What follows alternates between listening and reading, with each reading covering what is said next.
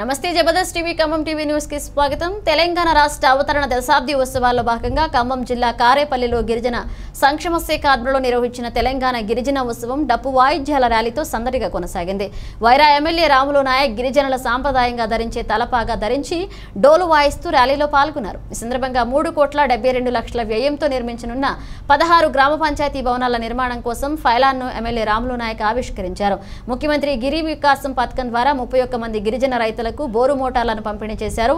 ఈ కార్యక్రమం బీఆర్ఎస్ మండల అధ్యక్షుడు పెద్దబోయిన ఉమాశంకర్ కార్యదర్శి ఇస్లావత్ బాన్సీ వైస్ ఎంపీపీ రావూరి శ్రీనివాసరావు ఆత్మ కమిటీ మాజీ అధ్యక్షులు ముత్యాల సత్యనారాయణ సొసైటీ అధ్యక్షులు దుగ్గినేని శ్రీనివాస్ మండల రైతు బంధుకన్నెన Eesala Nageswararao society vice chairman Dharavath Mangilal sun chairman Addagoda Ailaiah నాయకులు అజ్మీరా వీరన్న తోటకూరి రాంబాబు అడపా పుల్లారావు బూక్యా జమ్లా పద్మావతి పాల్గొన్నారు.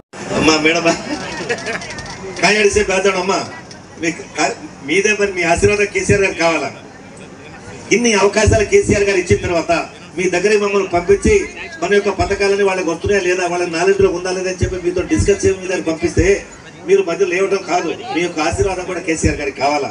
ఈ దేశంలో తెలంగాణ రాష్ట్రం చిన్న రాష్ట్రం చిన్న ప్రయాణంలోనే దేశంలో ఉన్న రాష్ట్రాలన్నిటికంటే మన ప్రథమ స్థానంలో ఎందుకు వెళ్ళిపోయినాం? అది కేసీఆర్ గారి యొక్క ఆలోచన. దీక్ష దక్షత.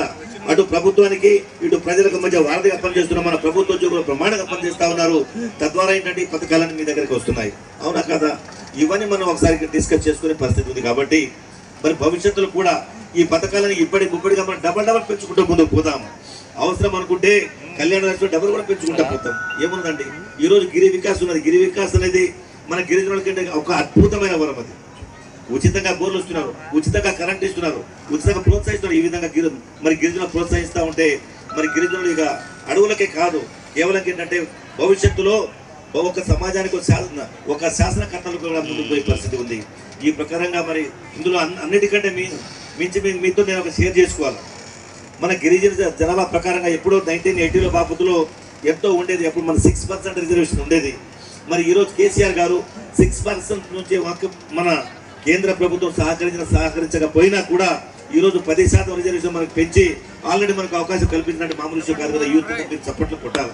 ఇది మామూలు విషయం కాదు. టెన్ పర్సెంట్ అంటే కొంచెం కేంద్ర ప్రభుత్వం కూడా దాన్ని సపోర్ట్ చేయలే. ఈ రోజు గ్రూప్ వన్ పరీక్షలు రాస్తున్నారు. డాక్టర్లు ఉన్నారు ఇంజనీర్లు ఉన్నారు కాలేజీలు ఉన్నాయి.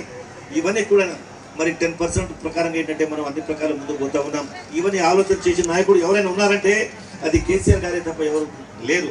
గతంలో చాలా ముఖ్యమంత్రులు వచ్చారు పోయినారు కూడా. కానీ తెలంగాణ గురించి ఆలోచన చేసి ముఖ్యమంత్రులు ఎవరు లేరు. కేసీఆర్ గారు ఆలోచించారు. తద్వారా ఏంటంటే తెలంగాణ బిడ్డలు ఇప్పుడిప్పుడే ఇప్పుడిప్పుడే బ్రహ్మాండ మార్గంగా ఒక వెలుగుల జిలుగులో ముందుకు పోతా ఉన్నారు. ఎన్నో బ్రహ్మాండమైన పథకాలు అమల్లో ఉన్నాయి. మా పీడీ గారు అన్ని చెప్పినారు. ఈ పథకాలన్నీ మనం అనుభవించాలని చెప్పేసి అంటే మీరంతా కూడా మనసావాచ కర్మణ సిద్ధంగా ఉండాలని కోరుకుంటూ భవిష్యత్తులో మీ యొక్క ఆశీర్వాదం కేసీఆర్ గారికి ఉండాలని చెప్పి కోరుకుంటూ ఈ అవకాశాన్ని మీ అందరికీ మీ అందరికీ కూడా మరో పేరు పేరున నమస్కారాలు తెలియజేసుకుంటూ జై తెలంగాణ.